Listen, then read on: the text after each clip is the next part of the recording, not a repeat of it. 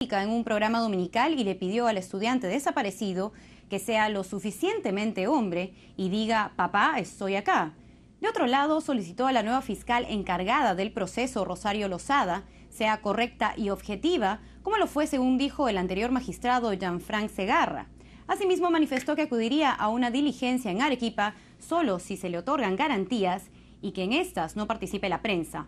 Indicó que mañana retomará sus estudios en la Universidad Agraria y solicitó a los medios de comunicación que no la perturben y respeten la casa de